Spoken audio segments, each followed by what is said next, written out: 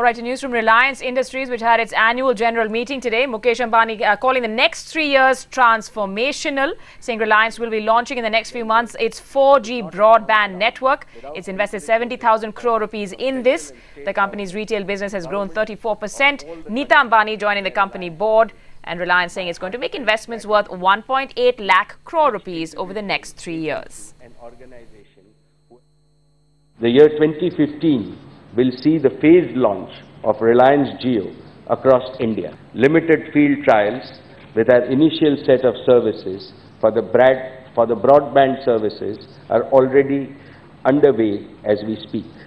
Expanded field trials will commence in August this year across multiple cities. These trials will continue through the end of 2014 and early part of 2015.